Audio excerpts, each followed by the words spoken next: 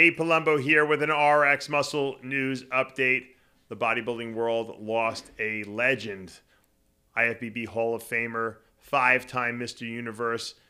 Bill Pearl has passed uh, 91 years of age, was still training up until the day he died.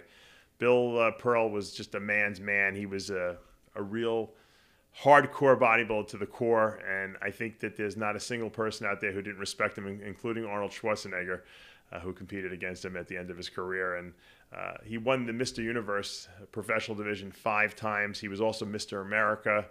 He was inducted into the IFBB Hall of Fame. He got a Lifetime Achievement Award from Arnold Schwarzenegger, uh, and he was a, a, guy who just loved bodybuilding and lived the bodybuilding lifestyle to the very end. He wrote books he was a guy who contributed so much to bodybuilding that we have to really. Um, a lot of people probably don't even know who he is, you know. But you know, I grew up reading his articles uh, that he wrote in Muscle Mag.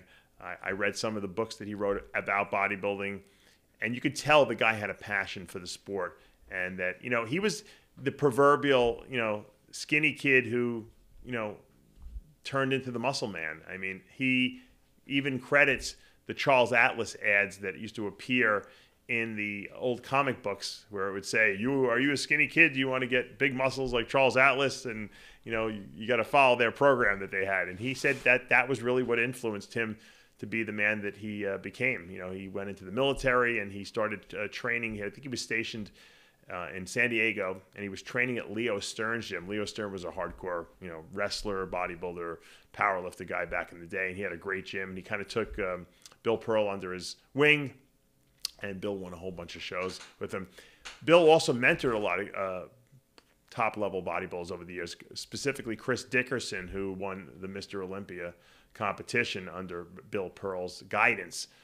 And Bill supposedly had a, a, huge barn in his in his house, and he had a huge gym in that barn. And people would come out. I didn't even know that you could do that. People would come out and train with Bill there, and he just you know loved imparting knowledge to other people. And I can completely, that resonates with me. I can completely understand where he's coming from because I am the same way. I like to share the knowledge of diet, supplementation, training, everything that I possibly have in my head. I like to constantly put it out there to you guys so you guys can absorb it like sponges and then utilize that and then help other people, the future generations of, of bodybuilders.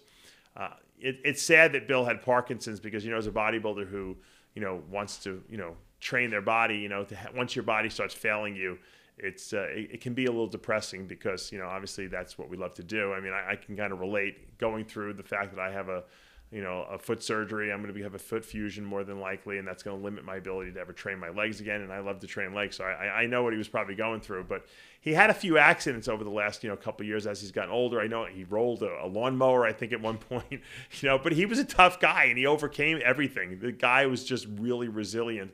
But at the end of the day, 91 years old is, is, is an old, you know, he's lived a lot of life. And, uh, you know, the body eventually gives out, and he's in a better place now watching over us and hopefully imparting, you know, that same knowledge, only maybe on a non physical level at this point. So, Bill Pearl, we will all miss you. I send my condolences and prayers out to his family.